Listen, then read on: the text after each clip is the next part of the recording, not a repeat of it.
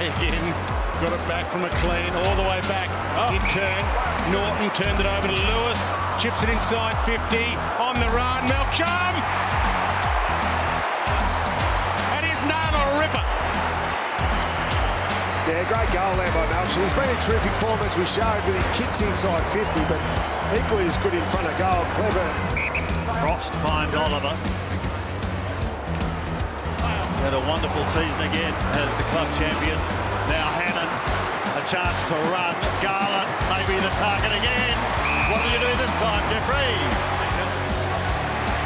No mistake on this occasion. He stretches the lead. Kennedy Harris back into the lineup this week, gets a touch, for Petracca and Neal-Bullen's on the run. Hogan leads for him. He's got a couple to beat. Got a hand on it. Ball to hand at the back. He provided the shepherd. The follow-up on McDonald. Was tripped. Had to get a free. He's going to get up and kick the goal, you would think, from the top of the square. Never in doubt. Hogan's long. Got three on him. Sits it up for the big Hogan jump. He uses his body, middle of the pack. Rip down. That is fantastic from Hogan. So you're going to go to You're going to back him in there. Opens it up quickly. Plays on. And nails it doing the damage around those clearances. Going out the back. Well done to Brayshaw off to the late inclusion Hannan. They've got plenty to swoop on it. And they only need one. Charlie Spargo says, I'll do it for you. And he does. That's sort of renowned for his uh, contested marking, but I think that's an, an, area of game where he's really improved. Lynch brings it back straight to McDonald. Roughead could do nothing. Big Tom has one so far. Too far out to score. Just pops it up to the top of the square. Well, it's got to be a free kick target. It has to be. Yep. Advantage is going to be paid. Neal-Bullen will kick the goal when he does. And suddenly the Dees sneak clear. Ninth is ninth. Gawn knocks it down. Rachel side steps a couple. Little one two. Okay, Oliver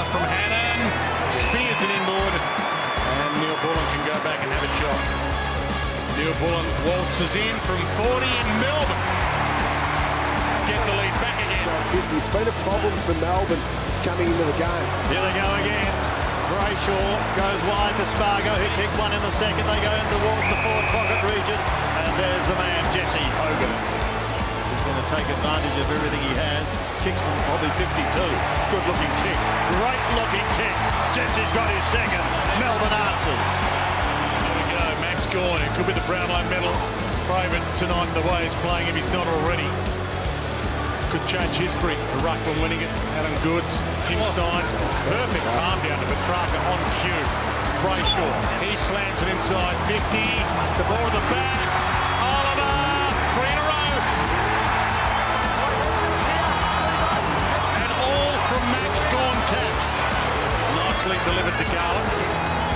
Inside to Petracca, and look at him run. Neal-Bullen out the back, needs a kind bounce. They're coming at him. Almost got away, did get away. Brilliant to Haddam. And he nails a big time goal there. This for a 26-point lead. He's pretty good from this spot. He's darn good from that spot. And he gets the goal. He's got his second. They lead by 26. Says eat my dust. I'm going to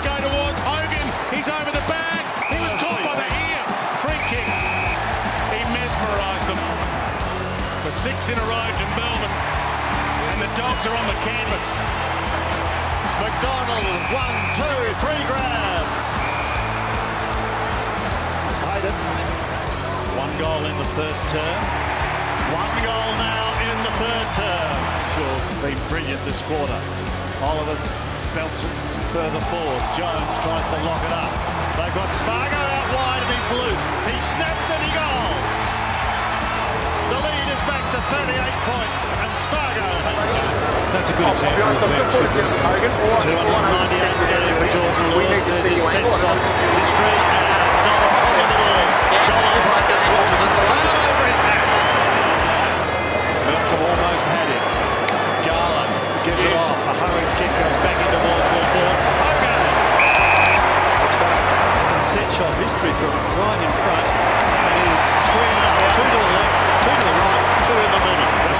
as we talked about it.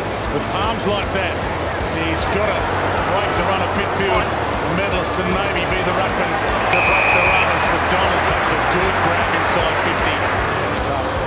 Max Gawn's evidence enough. You get a good one, changes the whole complexion of your team. As McDonald goes, he's got three. Bailey French has been relatively quiet today. It's all right defence, though. Uh, yeah, Yep. for Salem. On there, play